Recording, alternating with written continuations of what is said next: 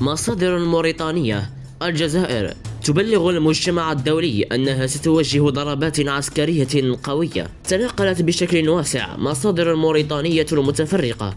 خبرا مثيرا مفاده أن الدبلوماسية الجزائرية تبلغ هيئات المجتمع الدولي أنها في حال تعرضها لأي استفزاز عسكري على الحدود الغربية للبلاد في إشارة واضحة وصريحة للمملكة المغربية.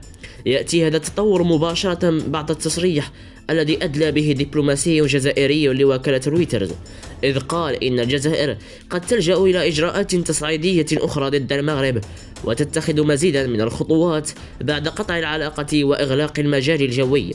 وقال عمار بلاني مسؤول ما يسمى ملف دول المغرب العربي بوزارة الخارجية الجزائرية لرويترز إنه من غير الممكن استبعاد اللجوء لإجراءات إضافية لكنه لم يحدد طبيعة هذه الإجراءات.